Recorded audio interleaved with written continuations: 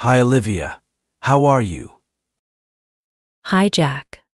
I am good. How are you? I'm good too. I wanted to talk about something. Sure. What do you want to talk about? I wanted to talk about love. What do you think about it? Love?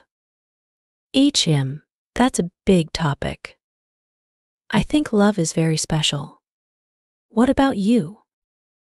I think so too. Love makes people happy. Do you believe in love at first sight? I'm not sure. Maybe. Sometimes you just feel something special when you see someone. Do you believe in it? I think I do. I once met a girl, and I felt something right away. Really? Tell me more about it. It was at a park. She was sitting alone, reading a book. I just felt like I knew her. That sounds nice. Did you talk to her? Yes, I did. We talked for a while. She was very kind. I really liked her. That's great, Jack. Did you see her again? No, I didn't. But I can't stop thinking about her. Maybe you should go back to the park. You might see her again. That's a good idea. What about you, Olivia? Have you ever been in love? I think so. There was a boy in my class. He was always nice to me. I felt happy when he was around. Did you tell him how you feel? No, I was too shy. I didn't know what to say. I understand. It's hard to tell someone you like them. But maybe he felt the same way.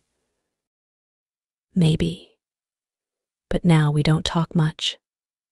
I guess it wasn't meant to be. That's sad. But you never know, maybe you will find love again. Yes, I hope so. Love is special, but it can be hard too. True. It takes courage to love someone. Yes, and trust too. You need to trust the other person.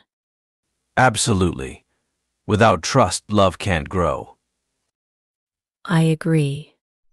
It's important to be honest with each other.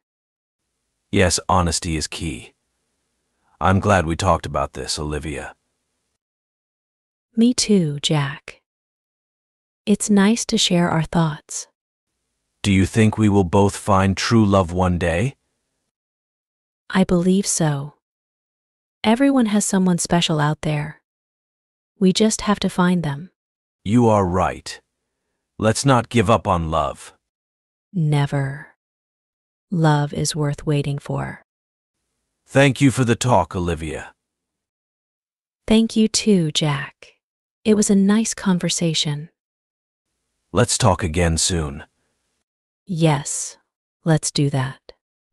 See you later, Jack. See you, Olivia.